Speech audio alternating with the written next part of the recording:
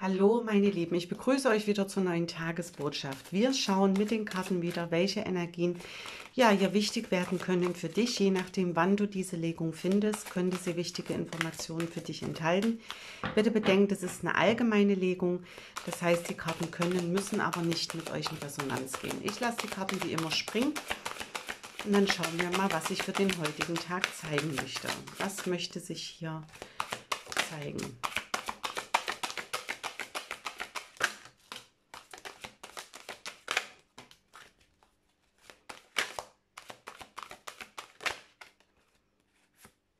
So, dann arbeiten wir erstmal mit den Karten. Wir haben hier den Tod und dann den Narren. Dann haben wir hier den König der Scheiben, die zwei der Scheiben und an der Unterseite die fünf der Schwerter. Die fünf der Schwerter ist als versteckter Hinweis eigentlich ähm, eine schöne Energie, weil sie sagt, man gibt hier irgendwie einen Kampf auf. Beziehungsweise überlegt man, wo lohnt es sich zu kämpfen.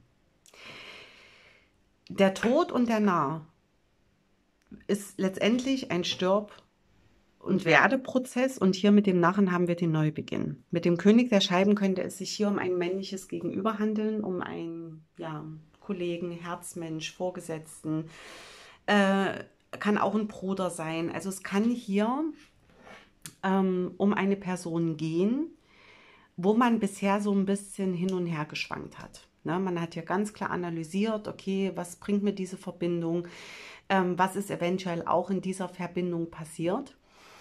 Und wir haben hier eine Pluto-Energie, hier eine Wassermann-Energie. Ne? Also es geht um plötzliche Erkenntnisse, um plötzliche Umwandlung einer Situation. Und du hast dafür lange analysiert. Ne? Also die fünf der Schwerter ist so eine, wo man lange mit sich selbst auch im Konflikt stand ne? und hin und her geschwankt hat. Und heute kann es hier gut sein, dass du wirklich sagst, okay, ich beende hier eine Situation und schaue einfach, was sich für mich zeigen möchte. Du lässt los. Ne? Eigentlich ist das hier äh, ganz kurz und bündig gesagt, du lässt eine Situation mit einem König der Scheiben los. Ein König der Scheiben könnte jetzt Stier, Steinbock, Jungfrau Energie sein. Es ist aber prinzipiell auch eine Energie für eine Person, die einfach sehr festgefahren ist, die sicherlich auch eine gewisse Beständigkeit und Stabilität im Leben hat, aber die ja auch nicht unbedingt flexibel ist, die sich ähm, einfach hier irgendwo niedergelassen hat im Innen wie im Außen und auch nicht bereit ist, irgendetwas zu verändern. Ne? Und ich habe so den Eindruck, ähm, dass, wie gesagt, entweder du jetzt gegenüber diesem König der Scheiben sagst, okay, stopp, ne, ähm, ich bin ja einfach nicht mehr gewillt, diese Dinge auszusitzen, hier zu warten, wie auch immer. Das muss jetzt nicht nur die Liebe betreffen. Oder ich ertrage einfach diese, diese, diese Unbeweglichkeit nicht mehr, dass sich da einfach nichts mehr bewegt. Wie gesagt, das kann beruflich, privat, das kann jeden Bereich betreffen.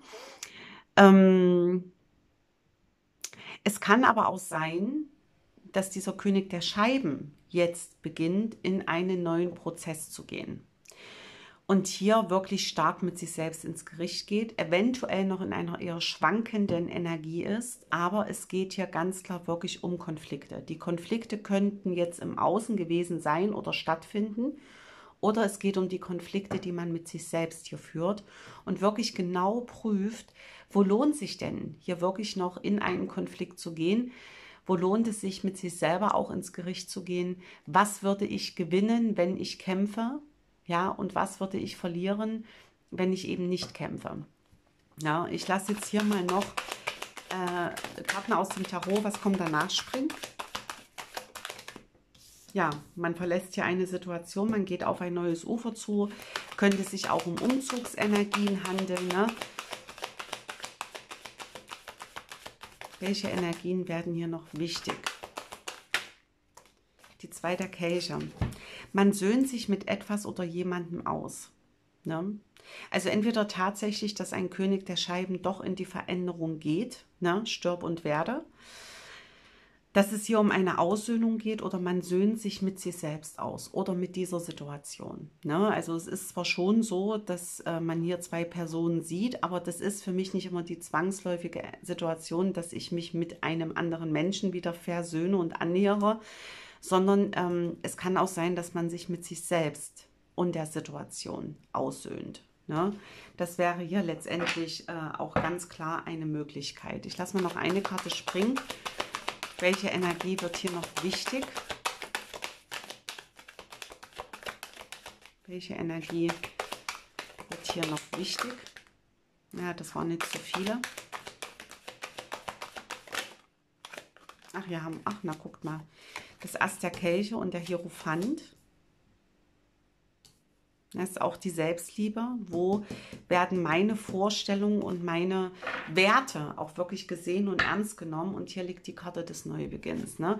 Also letztendlich ist es so, wie gesagt, es gibt mehrere Möglichkeiten. Entweder du verlässt hier eine Situation, die einfach unbeweglich war, wo nichts vorwärts ging und gehst für dich in diese Selbstakzeptanz. Ne? Du betrittst ein neues Ufer. Du prüfst hier genau, okay, wo macht es jetzt eigentlich noch Sinn? Was macht hier eigentlich noch Sinn? Gehst dann letztendlich in die Entscheidung für dich selbst, in die Selbstliebe, beginnst hier für dich etwas Neues. Und das Schöne mit den acht der Münzen ist, du hast bereits Erfahrung. Ne? Also egal, um was es sich hier handelt, ob Liebe, ob Beruf, ob Familie, zwischenmenschliche Beziehungen, vollkommen egal. Wenn du hier eine Energie verlässt, dann hast du hier Erfahrung und kannst in einen Neubeginn gehen. Es kann aber, wie gesagt, auch sein, dass dieser König der Scheiben, der in der Vergangenheit sehr unflexibel war, ähm, einfach sehr starr und stur, dass es hier zu einer neuen Verbindung kommt, zu einer Versöhnung, zu einer Aussöhnung und dass man hier in einen Neubeginn geht und genau prüft, okay, welche Fehler waren in der Vergangenheit. Das muss jetzt nicht zwangsläufig die Liebe betreffen, das können auch Vorgesetzte ähm, Kollegen, Geschwister, wie auch immer sein. Ne? Also es geht, sind wirklich, sind viele Wege offen tatsächlich hier. Ähm, aber du, du bist halt extrem gereift. Ne? Also du bist auch bereit und ich glaube, wenn es sich ja tatsächlich um auch ein Gegenüber handelt, hat dein Gegenüber ja auch gespürt, okay, jetzt ist hier wirklich Oberlippe Unterkante, jetzt hat sich mein Gegenüber tatsächlich entschieden zu gehen und braucht diese Situation oder diese Energie nicht mehr. Ne? Und das sage ich ja auch immer, ein System funktioniert nur so lange, wie jeder seine Rolle im System spielt. Und wenn natürlich dann ein Gegenüber spürt, dass du hier bereit bist, tatsächlich zu gehen, ne, dann ähm, können sich auch Menschen verändern, ne, wenn das so weiterhin in deinem Leben sein soll. Und ähm, dann kann sich dieses System auch ändern. Oder, wie gesagt, du gehst hier für dich in einen absoluten Wandel, in einen Neubeginn, aber mit ganz viel Erfahrung. Also so oder so eine gewinnbringende Energie. Ihr Lieben, ich wünsche euch einen zauberhaften Tag.